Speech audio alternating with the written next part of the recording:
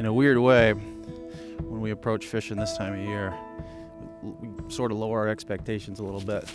Not a lot, just a little bit. And that way, any fish that we catch, uh, there's a greater sense of reward. One of the approaches we're going to take today is a very fine leader at the end. These fish are going to be spooky, and the water clarity is at its highest right now.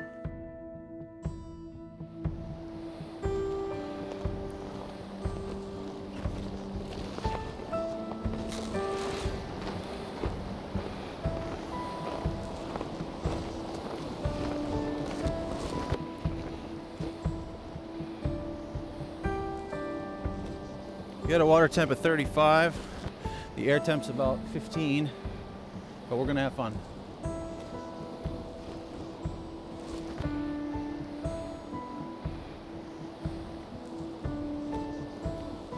I fished a lot as a boy.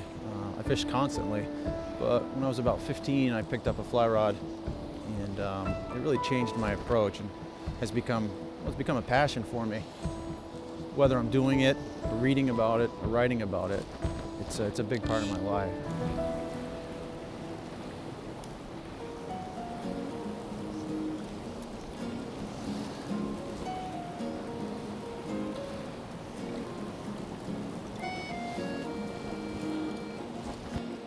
Actually, not that cold. My, my hand is a little cold, but my body's perfect. Obviously, it's important to be prepared for this in the way you dress. Won't last out here very long. The flies that I tie and use in the wintertime, I generally add a little bit of uh, attractor to them. I'll put a little bit of sparkle to them or, or cover a wing case with something, something a little more exciting than a normal feather.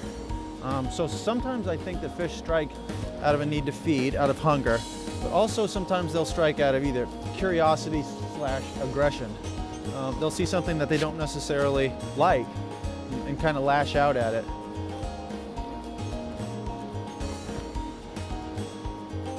Outside of ice fishing, this is really one of my only opportunities to fish. I'll take this every time.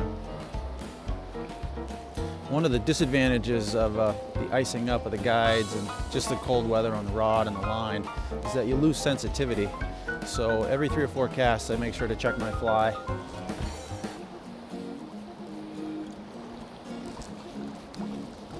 It's interesting as a biologist, I'm trying to think about all the different variables in play here in this cold water. But as a fisherman, I kind of have a sense of urgency. I want to catch a fish.